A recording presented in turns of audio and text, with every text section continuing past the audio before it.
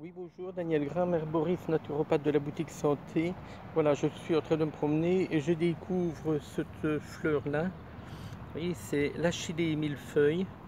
On le voit parce que on voit que les feuilles sont très découpées, vous voyez.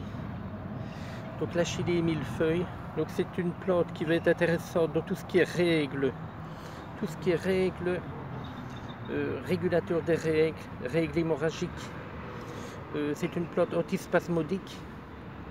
Donc ça va combattre l'espasme de l'intestin et de l'estomac.